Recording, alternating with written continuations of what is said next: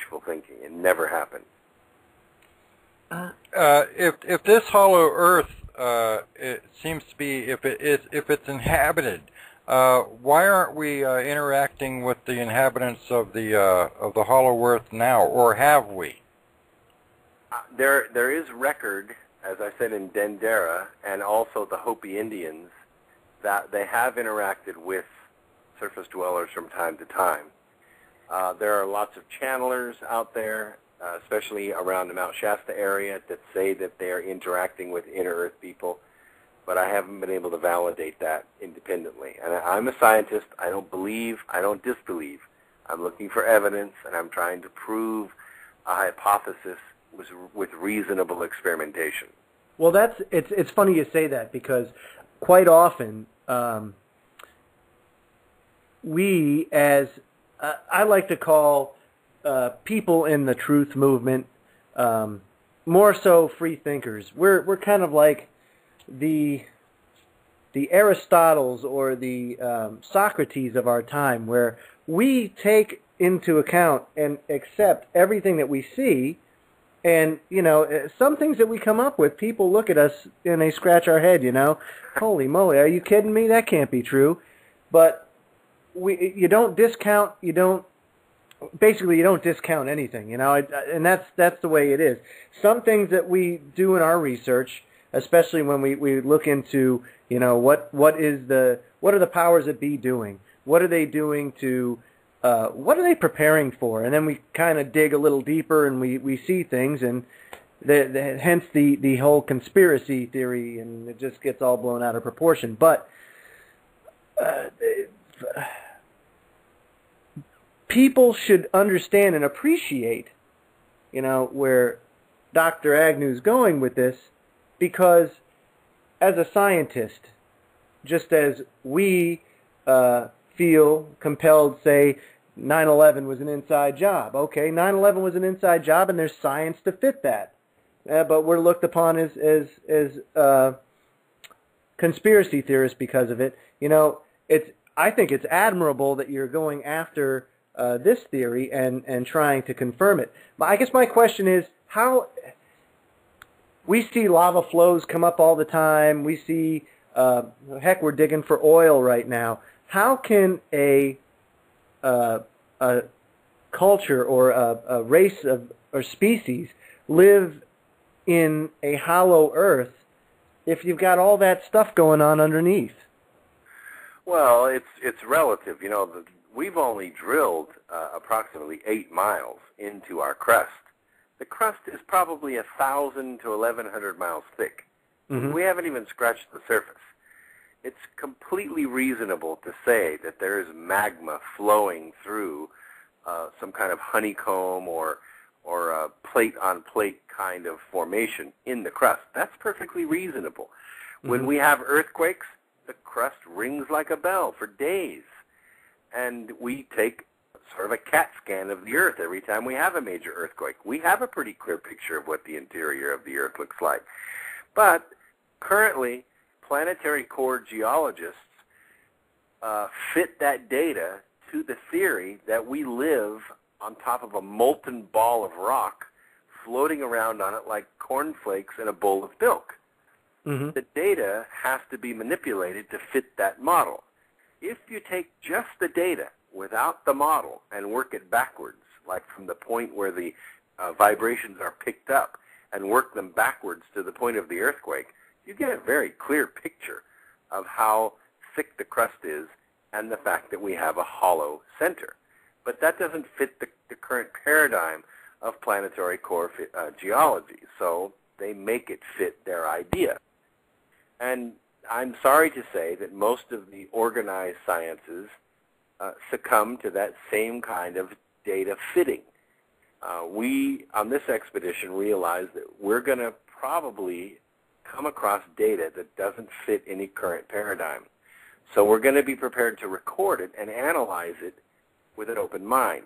For instance, we're one our film uh, leader, uh, team leader, is Jose Escamilla.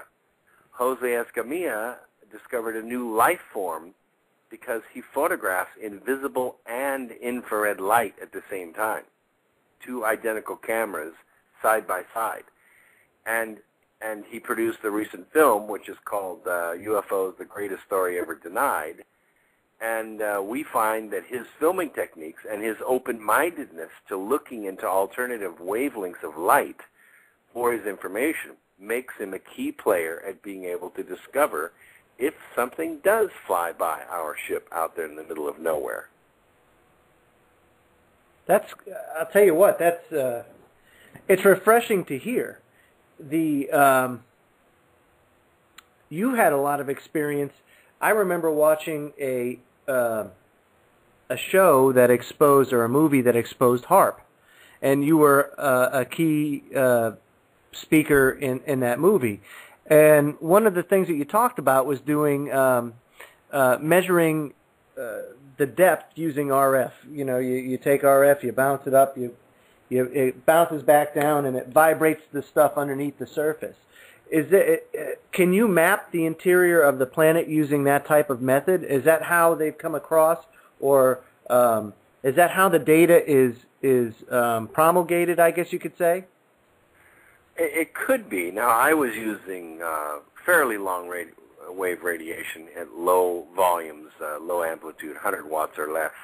And I was only going down to about 3,000 feet with meaningful data, meaningful, repeatable data. Mm-hmm. Uh, you would need very long wave radiation, like in the ELF or even ULF ranges, to be able to go deeper into the planet. And the only instrument on Earth that's got that kind of power is HAARP. And uh, I don't know which one of the specials you watched, whether it was the True TV one, the History Channel one, or the Holes in Heaven one. I think I've seen them but all.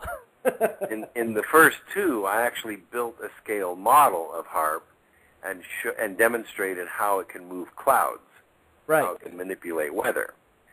It's it's it's pretty easy to do, and and and once you watch it on film, you go, okay, now I understand how you can move the jet stream and how you can move clouds around using HAARP. Of course you can. It's it's the easiest thing in the world to do. And I could demonstrate it again in, in an hour just by setting up the experiment again and running it again. It's very repeatable. Um, so I can basically make my own little HAARP station out in my backyard and cause the rain to fall on my garden when I want it to? Well, it wouldn't be little. It would be pretty big. You'd have to have uh, probably half a billion watts to be able to do it uh, on that kind of scale. The danger of HAARP, and the reason I got involved in that project, I was I was all through with my research by the time HAARP became a real issue. In 1997, I was asked to participate in the Holes in Heaven documentary. I became alarmed because of the frequencies that they were using and the power ranges that they were using and the fact that there were no safeguards whatsoever for chain reactions. Uh, there are two things that would be just planetarily devastating if they occurred. One is a phenomenon uh, Dr. Bernard Eastlund, who's the guy that invented HAARP, he's since passed away, uh, which is called the ionospheric breakdown. Now, his his paper was pretty good. I took it and went to the next level, corroborated with him, took it to the next level, and and what I the conclusion that I came up with is that HAARP could be used to form an ion path between ground and the ionosphere.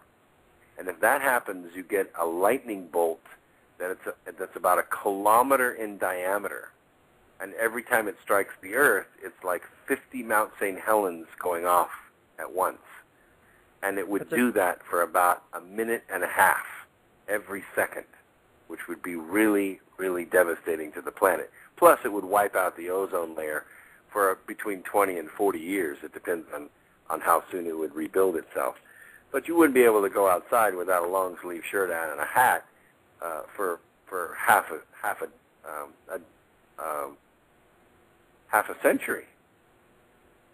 Did you um, now now HAARP is uh, a product of Nikola Tesla's research, is it not? Uh, Nikola Tesla was the guy that came up with the idea. Bernard Eastlund is the guy that patented it and built it for the for the U.S. Navy. It is now operated by the Navy uh, in Alaska, and it is a highly top secret site.